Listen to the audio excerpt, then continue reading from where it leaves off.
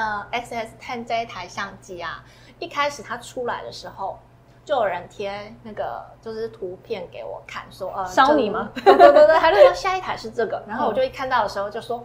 嗯，我看到这外形 pass，我绝对不会买。Hello，大家好，我是小杰，欢迎收看富士相机频道。如果你想收到最新最完整的产品资讯，帮我按下订阅按钮并开启小铃铛，这样就不会错过了。我们的频道啊，难得邀请到一位女性摄影，今天要来分享一下她在录制影片的心得。那她叫做 Athena，我们欢迎她。大家好，我是第一次露脸的 Athena。没错，因为她以前都是可能只有声音出现，或者是一些只有 model 的画面出现。那今天是首次露脸，就献给我们的频道了。那其实我跟她认识了一段时间，那她以前呢是做呃就是单纯的拍摄照片，那最近呢开始做一些影片的录制，所以我们今天要来跟他聊聊关于录影片的一些小技巧。那我想要问问 Athena，你是什么样的契机开始让你经营 YouTube 的呢？其实我一开始并没有特别想要去经营 YouTube 这个频道，纯粹就是想要学习一些动态影影像的拍摄啊，然后后置剪辑这这个部分，然后想要有一个可以放作品集的一个平台，所以呢，就是开始呃去 YouTube 上面一直呃去看一些前辈他们的一些影片的拍摄，那嗯在里面看到呃有一个叫做一个日本摄影师叫做米亚呃米。米亚 K 米亚 K 桑的一个 up Ox 哦的频道，然后在那个频道里面，我就发现说，哦，他都是拍他女朋友的一些影片，日常片，然后也没有一些很就是酷炫的转场啊，然后大部分就是一些呃慢动作的拍摄，然后很平稳的一个剪辑，那对我来讲是相对比较简单的，然后。呃，因为其实我有看其他一些就是 YouTube 他们的一些影片的拍摄的时候，他们的都非常的呃专场都非常的酷炫，而且可能呃就是他们都会使用空拍机，那对我来讲可能就是会比较就是门槛会比较困难一点，所以我在出发点的时候，我就先以那一位摄影师的作品做一个就是一个。呃，学习的对象，然后拍了之后呢，我就想说，哎，我需要呃可以放一些作品集的地方，所以我就自己开一个 YouTube 的频道这样。那你平常是呃怎么样决定拍摄的主题呢？呃，拍摄的主题的部分啊，我可能会并不是以先以主题为主，因为毕竟我是一个初学者嘛，嗯，然后所以我就会想说，呃，我每一次拍摄我都要学习到、练习到一个东西。就譬如说，呃，第一次的时候，呃，先不要讲那个呃 X S Ten 的开箱，先讲第一支，就是跟博宇一起去呃三重的呃那个熊猴生公公园去拍的时候，我第一个是想要先练习 SS Ten 的一个相关的呃就是测试，然后第二次的时候，我可能是呃第二次拍摄的时候，我是跟 B B。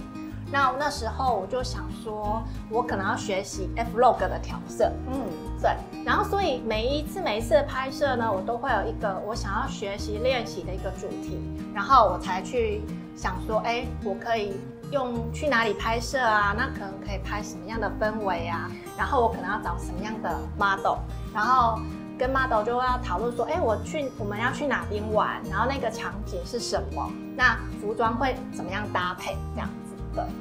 好，那那像是呃初学者啊，就是像你刚刚听你下这样讲下来，然后你是觉得说每次拍摄影片都会有一个目标性，但其实其是不是呃虽然有目标性是一个点，那其实如果就是按照那个计划走，其实是不是也会反而有一点点受限呢？哦，对，就是一开始的时候，譬如说。呃，我们我跟博宇去那个熊猴生公公园玩的时候，其实像这样子的地方啊，我们都会比较抱持一种说我们两个是去玩的，因为毕竟我也不知道我会拍出什么样的东西来，就包括我跟你去西门町一样。对，我们要来分享这个这个小故事，就是其实我们一开始拍西门的那支夜拍影片呢，我们其实有先。设设想好说我们要在某一个那个是装置艺术，我们一开始的设想是要拍那个，可是我们到现场发现，哎，它跟我们想象中的没有亮，对，不太一样。那于是我们就要走随性的路线，结果反而可以拍出就是更自然的东西。我们就看哪边漂亮，然后就去哪边拍，然后就是很随性的说，就是不会太太过于焦虑，因为可能很多初学的摄影师啊，包括不论在拍平面或动态的时候，大家可能都会想说，哦，我要创作一个东西，然后我们就会很紧张，就觉得说我一定要怎样怎样怎样。可是在这个部分的时候，就像是呃我在引导 model 的时候，我们都是要最重要是什么事情？就是气氛，对，气氛非常重要。对，就是说呃我们两个我们两个呃很开心的去一个地方。那如果你在拍的时候就觉得说，哎，我就一定要怎样，然后去到那里的时候发现，哎。这这些装置艺术没有亮啊，然后这场地不 OK 啊，那天气不好啊，那可能我们就可能心情影响。可是摄影师的心情只要一影响。model 就会受到影响，对不对？对，就是哎，我看摄影好像很紧张，我想说，哎，那我是不是我今天到底要干嘛？是不是表现不好？对，所以其实反而保持着一种比较轻松的状态，可以拍出更好的作品。就是当成是一个呃去交友这样，去交朋友，然后可能也可以跟 model 想说，哎，那我们这个地方我们没一起没去过，那我们一起去冒险。我们一起去看看有什么特别的，对，就是会有一种新奇的感，新奇的感觉，跟 model 一起去探险，对，然后就算都拍不好了，我们去了那个也当就是开心的点，对，因为毕竟也是 vlog 也是比较走生活化路线。那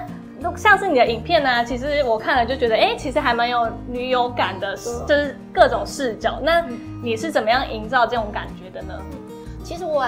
并没有就是特别要营造女友感的视角。但是呃，就是可能很多人都会说哦，就是女摄影师啊，就是拍的会比较，就是可能吃香，对说啊，因为你是女摄啊，所以你当然可以拍出这种角度，对对对，或者是说就是呃，什么女摄的特别视角，嗯，但是我不觉得说哦，就是特别是因为性别上面的原因，呃，第一个是我以前学摄影说的老师，绝大多数的老师就那些大师们，嗯。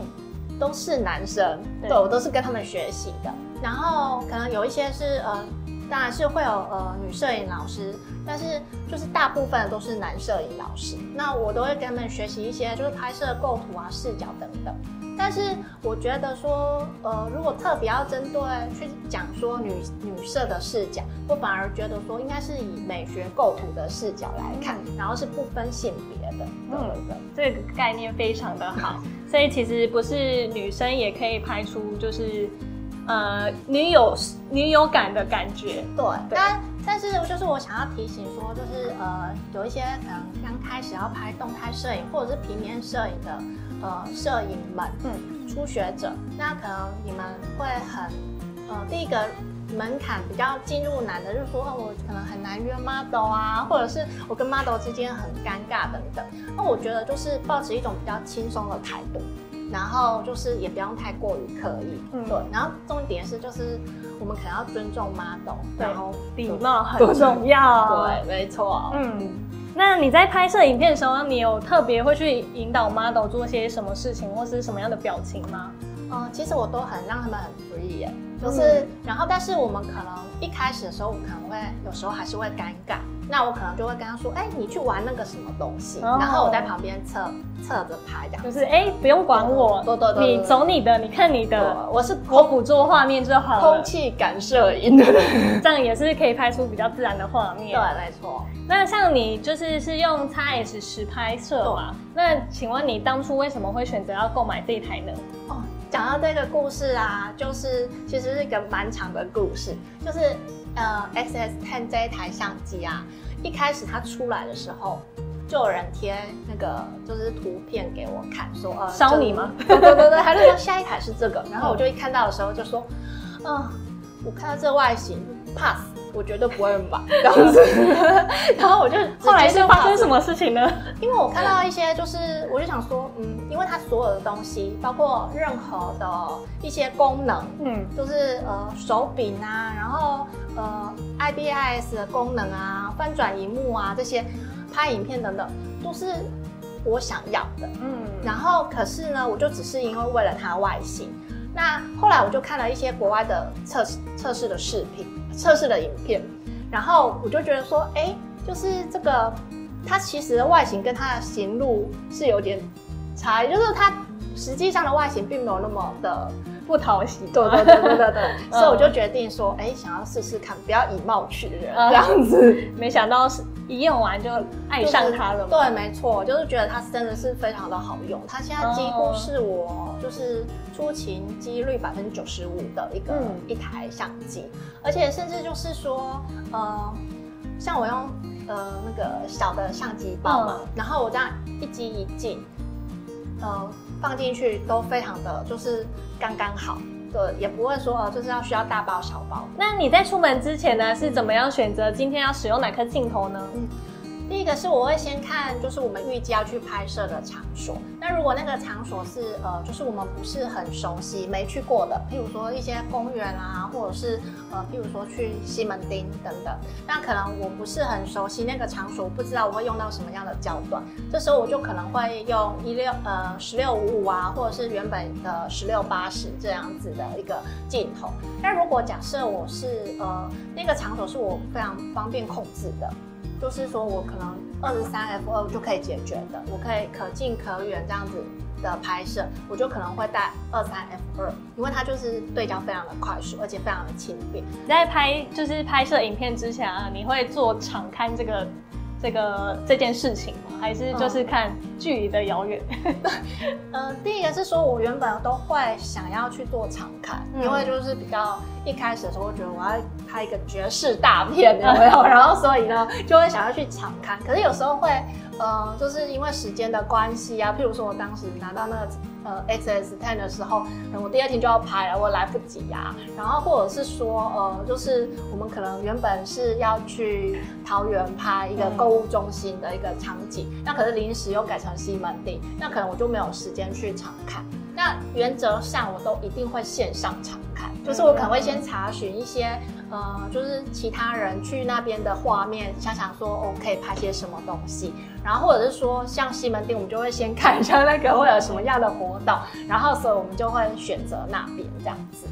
但是如果到现场发现跟想象中不太一样的话，也比较紧张。就是我们刚刚前面有教大家一些小技巧，对，没错。随性的话也可以拍出自然的画面。那你在使用 x S 十的时候啊，有什么使用上的技巧可以分享给大家呢？譬如说，我们可能拿到呃这一台的时候，我们可能看到一些国外的摄影，他们